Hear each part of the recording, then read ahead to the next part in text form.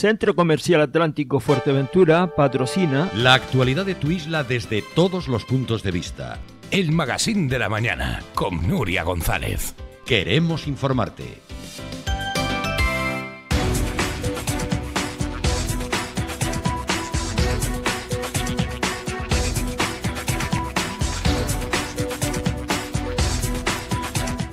Bueno, estamos de vuelta en la mejor compañía posible y es que hoy eh, arranca definitivamente la campaña Mójate, que ayer ya se presentaba, que se lleva anunciando durante varias semanas. Es una edición que el año pasado tuvo mucho éxito y que esperan desde la Asociación de Empresarios pues que se repita, que se repita y que todos nos comportemos y que todos nos impliquemos. Se trata de hacer compras en el comercio local. Está con nosotros Daniela Ploteger, es la presidenta de la Asociación de Empresarios. Bienvenida, Daniela. Buenos días, Nuria. Gracias. Gracias por estar hoy aquí porque estas mujeres están haciendo el esfuerzo, como muchos otros empresarios y empresarias, de estar hoy aquí en la radio para contarnos, para contagiarnos de su amor por el comercio local y después tienen que abrir la persiana. Así que muchas gracias a Teresa Roger. Gracias, Teresa. Gracias.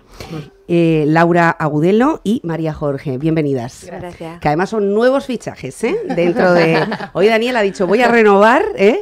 Y voy a traer mujeres emprendedoras que tienen negocios relacionados con la estética, con el textil y que, bueno, pues la cosa de momento, ¿cómo va? ¿Cómo van las ventas en Puerto del Rosario? Bueno, vamos ahí, vamos dándonos a conocer, eh, impulsando marcas también y trayendo cosas eh, novedosas únicas y bueno, la idea es, es poder seguir creciendo. Bueno, ahí está, ¿eh? el coraje y la valentía de los empresarios. Daniela, sí. bueno, ayer se presentaba esta campaña frente al Cabildo Insular de Fuerteventura.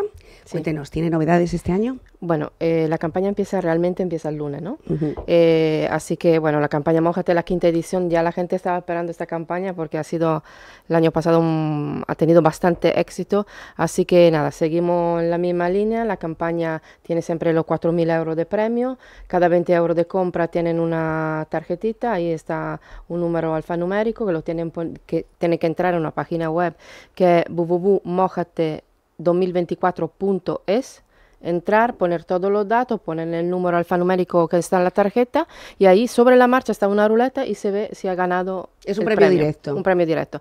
Así que, que después se reinvierte en el comercio local. Así que, bueno, mm, confiamos que, que la campaña siga con su con su éxito como el año pasado y que sea un beneficio para, también para todos los comerciantes. ¿no? ¿Hasta qué fecha, Daniela, esta campaña? Del, del lunes eh, 8 de julio hasta el 5 de agosto del lunes hasta el 5 de, de agosto, agosto, un mes, ¿no? Un mes. Un sí. mes prácticamente. Es una temporada un poco así, un poco rara, julio, entonces tenemos que empujar lo máximo posible para aguantar el verano, porque después... de, bueno, después es la vuelta al cole vuelta y parece cole. que se reactiva todo un poquito más, mm. ¿no? Estas campañas de alguna forma ponen otra vez en el centro, Teresa, la importancia del comercio local en Puerto del Rosario. Nos recuerdan que tenemos que seguir apoyando, ¿no? Sí, yo sí, la gente, pues claro, te animas más, vas a recibir un premio y encima tan así directo y, te anima y animo a la gente a que participe porque está muy bien. En este caso, los meses de verano, ustedes los temen un poquito más, como dice Daniela, la gente sale de puerto, se va de vacaciones, etcétera, o no. en mi sector la gente se sigue arreglando. Estamos hablando de la estética, peluquería. La peluquería y la estética, sí. La gente sigue yendo a arreglarse. Es verdad que la peluquería baja un poquito por el tema de la playa, la piscina, pero es verdad que la gente que se tiñe siempre va a teñirse, la gente que se arregla las uñas siempre va a hacerse las uñas. Entonces el verano cambia un poco la perspectiva y en vez de ir a peinarte liso te haces trenzas y entonces se cambia un poco la... Nos decían esta semana, no sé si lo compartes tú que eres profesional del sector, que precisamente los meses de verano, para todo lo que tiene que ver con manicuras, pedicuras, estética, son los meses eh, de, más, de más trabajo junto sí. con la Navidad, ¿no? Sí. Porque las mujeres, los hombres, que también acuden a este servicio cada vez más, se arreglan más. Sí, sí, porque en verano, eh, en verano utilizamos más cholas, entonces, por ejemplo, eh, los pies no los arreglamos más. Ahí entonces, no podemos escondernos, ¿no? Sí, entonces la gente se arregla los pies en verano solo por lucir los pies, ¿vale? Las manos es verdad que siempre es algo que se arreglan, porque es lo que el espejo de del cuerpo lo casi siempre es las manos. Entonces, y porque se ha convertido la manicura en un lujo al alcance de casi todos, ¿no? Al final yo creo que la peluquería y la estética entra dentro de las necesidades de muchas mujeres, porque no solo es un lujo, eh, para mí eh, ayuda en la autoestima, que la gente no esté tan desanimada al verte arreglada, todo eso sirve para muchas cosas, igual que el verte vestida con algo que te guste, que te siente bien. Y muchas veces pues con la compra online tú no puedes ver esas cosas. Claro que Entonces, el ir a tiendas a probarte la ropa, al verte, que alguien te diga, mira, pues esto te queda bien, esto te queda mal. Entonces, todo eso te ayuda a, a que te subas el ánimo y, y viene muy bien. A salir de casa, efectivamente. Fíjate qué, qué, coordenada más bonita acabas de añadir en esta mesa, ¿no? La salud mental, la sociabilidad, que también permite pues que ustedes con todos sus, con todos sus clientes. El hecho de llegar, salir de casa, saludar, qué tienes hoy, qué te puedo, en qué te puedo ayudar, que sepan lo que te gusta también, ¿no? Y lo que no te gusta.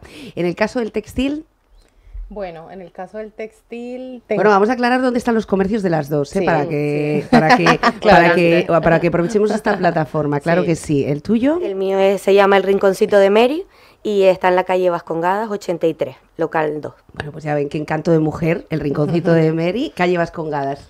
Y eh, Agua Santa Store está en León y Castillo 85, local 4.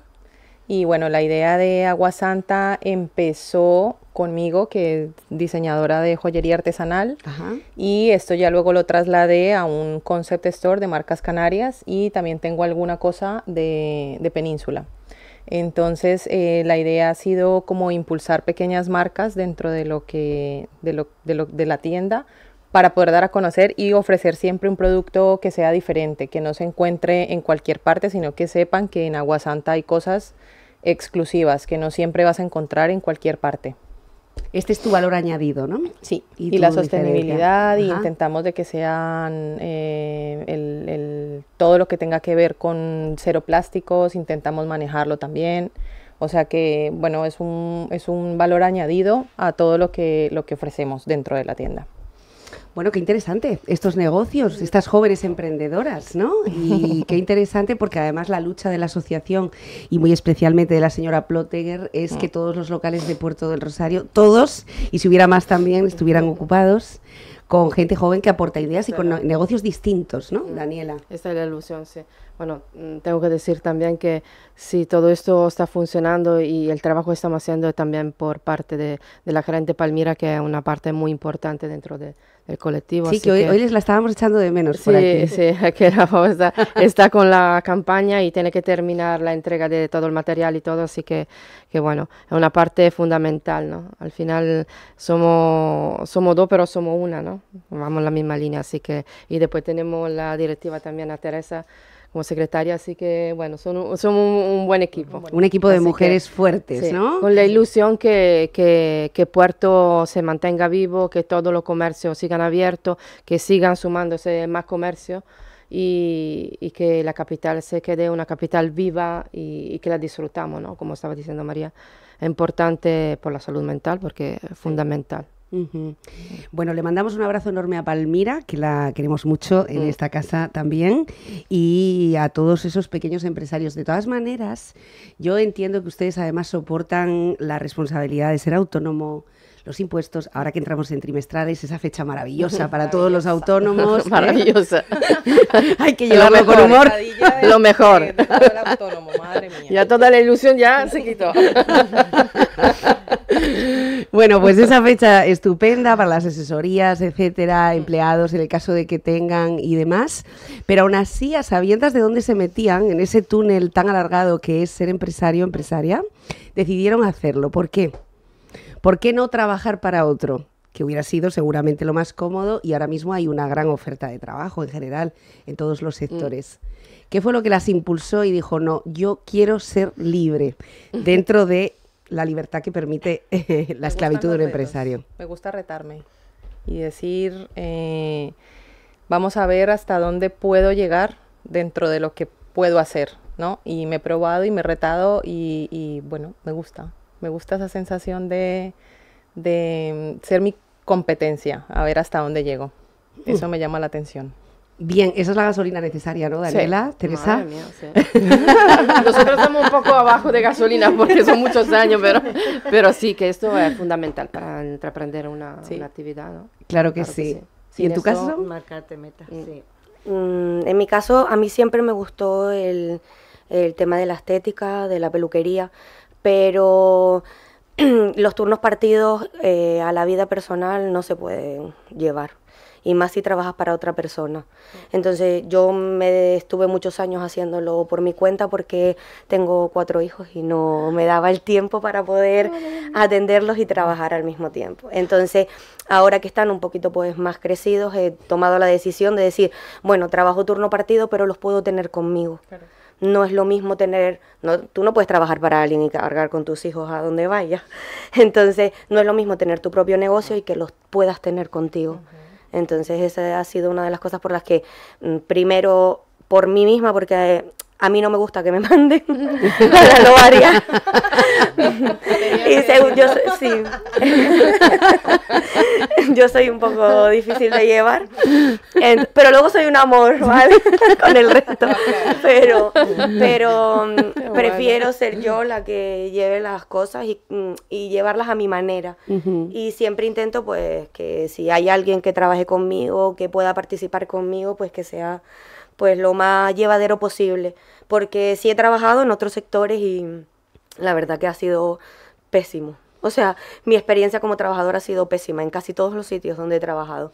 Y sin embargo, desde que tú emprendes tu actividad, Sí, te, eh, cambia, te cambia la vida, ¿no? sí. Tu propio negocio. Sí, además que es distinto cuando, cuando tú tienes que llevar la carga. Yo por un lado puedo entender el estrés de la carga, de los pagos, de las compras, de, o sea, es mucho estrés para la persona que además tiene que trabajar. Mm. Pero no es lo mismo verlo como, porque no trabajo en un trabajo en el que voy porque necesito el dinero, sino lo hago por pasión, porque es lo que me gusta. Entonces, eso te anima a levantarte todos los días. Yo odio madrugar y abro a las 8 de la mañana. Entonces, te anima a levantarte a las 7 de la mañana y decir, venga, vas a hacer lo que te gusta. Entonces, todo es eso te, anu- importante. te anima a seguir Muy adelante. importante. Bueno, yo preguntaba eh, sobre el reto de ser empresaria, pero ya cuando dices que tienes cuatro hijos, es que a ti te gusta el doble tirabuzón, ¿no? cuatro hijos con lo súper joven que eres, cuatro hijos y un negocio. Bueno, aquí ya estamos hablando De palabras mayores. de palabras mayores, y la- de la súper responsabilidad también, ¿no? Bueno, eh, estamos hablando de esta campaña Mójate, que trata, igual que el resto de las campañas, de en un calendario programado desde primeros de año prácticamente, de todas las acciones que la Asociación de Empresarios de la mano del Ayuntamiento, Cabildo y Cámara de Comercio, porque aquí todo el mundo se ha, Está po-.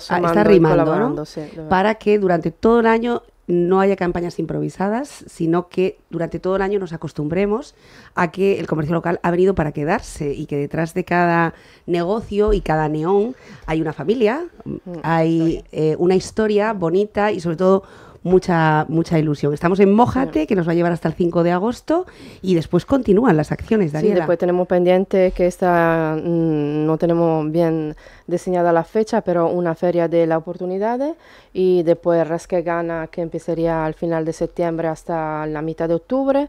Eh, después tenemos otra feria pendiente y eh, pasaríamos la Navidad. Así que nada, agradecer a- al Ayuntamiento de Puerto de Rosario, sobre todo al alcalde, David de Vera, porque ha entendido que con el plan de comercio que ha sacado cuando empezó el año, entendió que el, comercio local eh, es fundamental para, para la vida de, de la capital. Así que se tiene que dar las gracias. La primera vez, yo lo sigo diciendo, la primera vez que nos pasa eh, encontrar un alcalde que entienda de verdad la importancia del comercio local. Así que él es una, decimos que el, el, el que tiró el carro y después al carro se han sumado también el cabildo, como siempre el cabildo todos los años eh, apoya con su parte y eh, la, la Cámara de Comercio. Así que la unión, como siempre se dice, hace la fuerza, ¿no? Si podemos tener la unión por parte de todo, a nosotros nos beneficia porque podemos hacer más campaña, podemos hacer más actividades y mantener eh, movimiento en la calle. Y aquí es muy importante la unión, ¿no? Porque ayer ustedes planteaban una, una, una cifra que a mí me, me- Bueno, 126 comercios. Es decir, son 126 comercios de Puerto del Rosario que han dicho, sí, me lo creo, participo, eh, pongo de mi parte, no le pongo obstáculos a Palmira cuando visita los comercios. Es que es un trabajo, ¿eh? Hay un trabajo detrás de producción, de tocar los negocios, de explicarles. No todo el mundo sí. por, cada local explicando lo mismo, 126, no sé yo, Palmira tiene mucha paciencia. Yo mandaría un WhatsApp, mira, es así, ya está. bueno, pero claro, es ese trato personalizado también, otra vez, ¿no? Y luego cada uno pues, tiene, y que el comercio ha estado muy abandonado Vamos a llamar las cosas como son. Y entonces cuando se han encontrado, cuando hay que abrir la puerta, pues primero viene el desahogo y después sí, sí, sí o sí no. Teresa, hay unión ahora mismo, parece que hay unión en el sector empresarial. Sí, sí. Eh, y quieras o no, mira, yo acabo de conocer a, a esta a Laura. a Laura y a María, sí. María es vecina. Tenemos los negocios cerquita y, y, cada vez vas conociendo pues, un poquito más y y te vas acercando más a la gente que, estamos en el mismo, con la misma ilusión, ¿no? De, de salir para adelante y, trabajar, claro. De hecho, bueno, aquí estamos viendo una, una, sinergia. Podemos ir a ponernos guapísimas y después a comprarnos un traje precioso. Y todo en la misma calle, prácticamente, ¿no? En el mismo barrio, en el barrio de Favelo. La misma calle. En la misma calle. En la misma calle. Y seguramente luego podemos desayunar en algún bar de la zona, en fin. Eh, ¿Ha costado mucho esa unión, Daniela? Mm, bueno, una parte sí. Ha costado bastante, sí. Y ahora mismo sí, eh, esta percepción que tenemos de que los empresarios han dicho, bueno, voy a, voy a intentar quitarme las diferencias que pueda tener. Sí, yo creo que también eh, la, la dificultad que tenemos, ¿no? De cada cuatro años cuando cambia una corporación nos vemos siempre luchando para conseguir eh, lo que hemos conseguido, lo hemos perdido y tenemos que volver a iniciar todo, ¿no? Entonces yo entiendo también por parte de, de los comerciantes a veces la, la lejanía ¿no? de, de, la, de las instituciones, porque es que es normal. Entonces, yo lo estoy repitiendo y espero que le entre en la cabeza que cada cuatro años, que pase lo que pase, que cambie el político, que cambie, pero que mantenga lo que sirve para el comercio local, porque esto le da la posibilidad de seguir con su trabajo, de seguir manteniendo su familia, porque de cada comercio tenemos una familia que vive de eso, y eso es muy importante. Así que espero que, que, se consiga esta, esta trayectoria de, de mantener eh, toda la campaña y todas las, actividades que se hacen para el comercio local, que son fundamentales. De hecho, debería ser así, ¿no? Un tema que no se toque, que el comercio no se Debería que ser así, independientemente del color político, debería que el comercio local sea una prioridad para todo, porque yo me pregunto, si cierran comercio, el impuesto que, que faltan de ese comercio, le faltarán. ¿Quién los paga, no? que nos Que siempre lo repetimos, que no todo el mundo puede ser funcionario. Es que no, es así. Eh, no, porque si vamos todos a ser funcionarios, entonces no sé. ¿Quién paga a los funcionarios? Yo lo veo complicado, ¿no? Pero bueno, aquí. Bueno, ¿cómo ven ustedes las acciones que se están llevando o qué mejorarían dentro de las aportaciones, ¿no? De decir, bueno, yo tengo un negocio, conozco mi realidad, conozco mi calle, conozco mi zona. Entonces, yo mm, mejoraría, porque la última vez, Teresa, hablamos del estacionamiento el, estacionamiento, la, embellecer la calle. Cuidar el entorno, ¿no? Cuidar el entorno. Urbanismo. Sí, sí.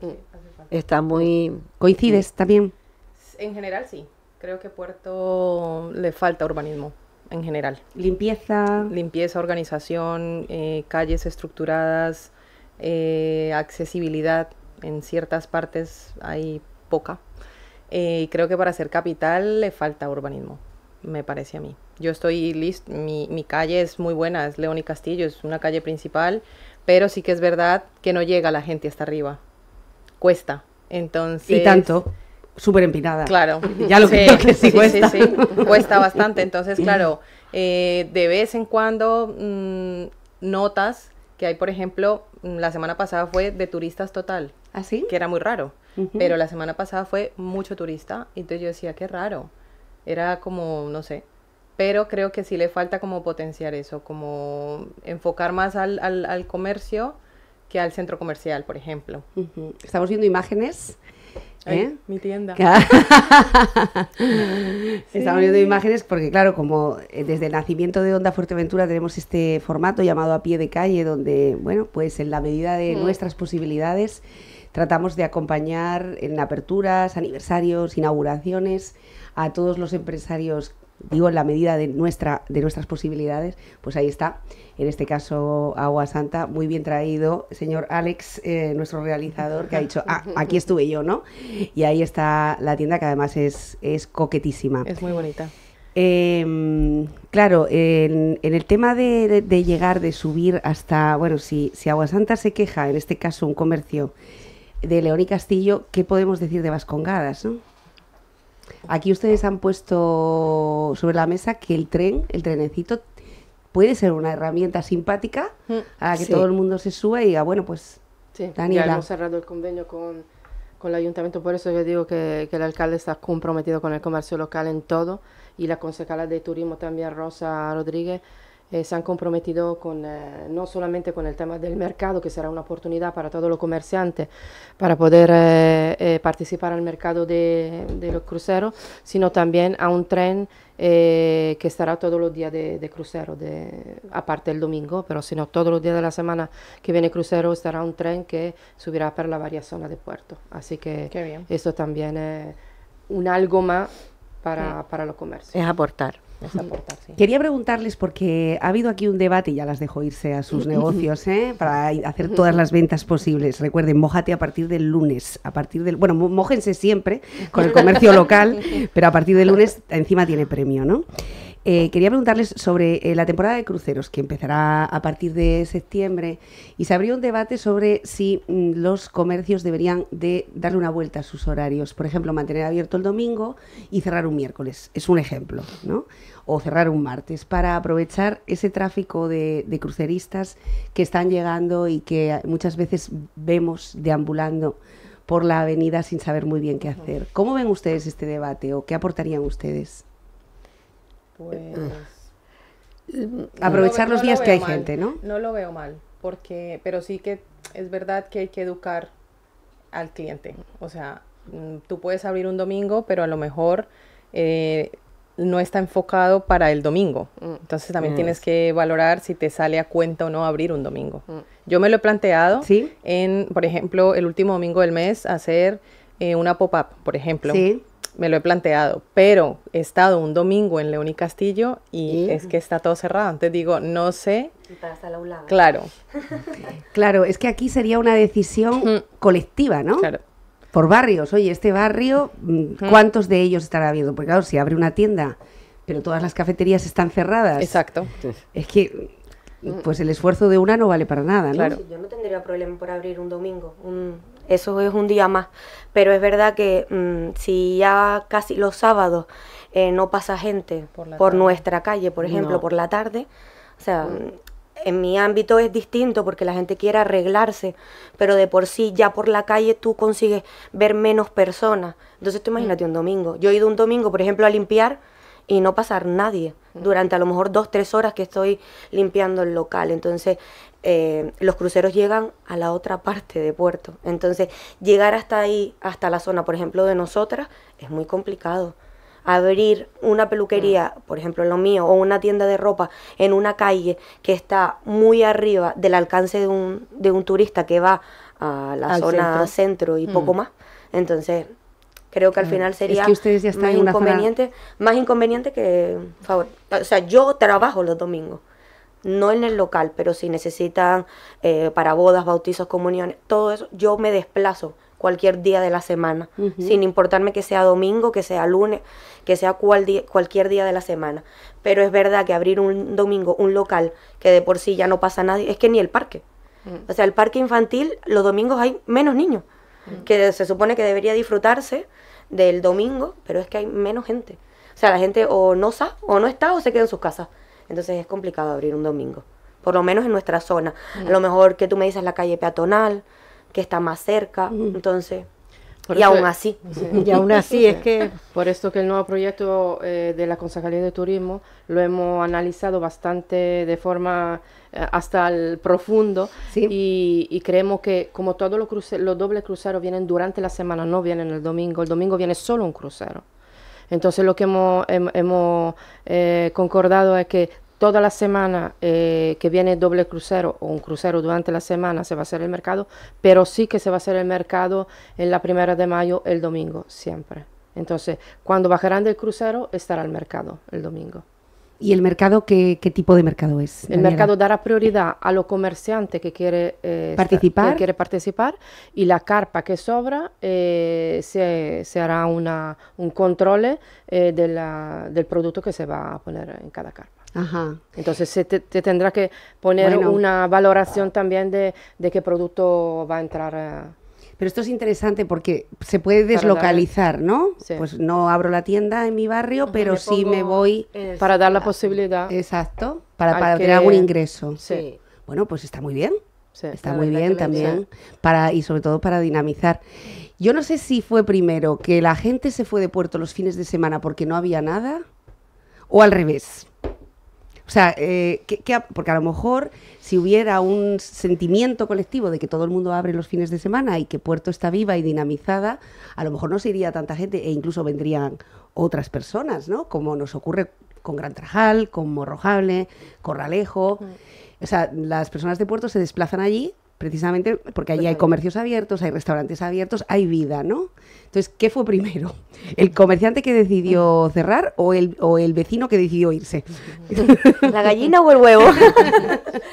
Yo creo que es una capital, una capital administrativa, no es una capital turística. No es turística, claro. Y demás, toda la capital el domingo casi todas están cerradas. Sí. Aparte de restaurantes, bares, que son otra cosa, pero el comercio está cerrado en todos los lugares. Entonces, yo creo que no es nada fuera de lo normal. ¿eh? Estamos, estamos haciendo algo que yo creo que, que, que nos beneficia, porque creo que el domingo es un, es un día donde se pasa con la familia y- Sí. y es normal que el comercio descanse el domingo, ¿no?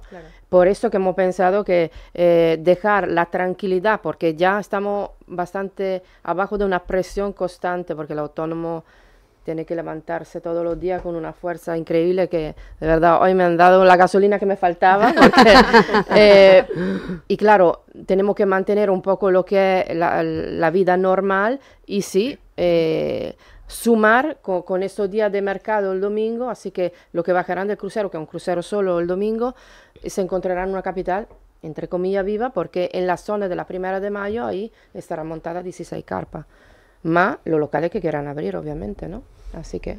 que tendrán un poquito de lo que es el comercio de, eh, de puerto, ¿no? La referencia ahí sin necesidad de que tengamos que estar habiendo todos los domingos eh, con, con el trabajo que cuesta. Sí, sí, desde luego, desde luego.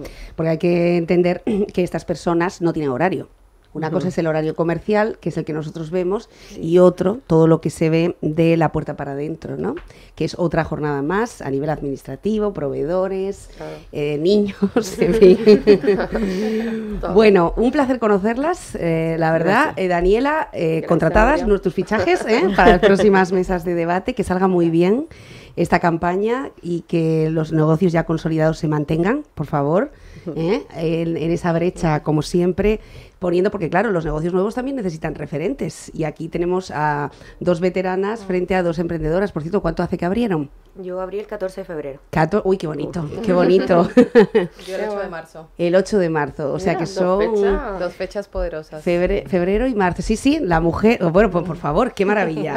Bueno, ya ven, ¿eh? 126, 127 comercios de Puerto del Rosario son los que están participando en esta campaña que comienza el lunes y en la que todos debemos mojarnos. Buenos días, feliz jornada. Gracias.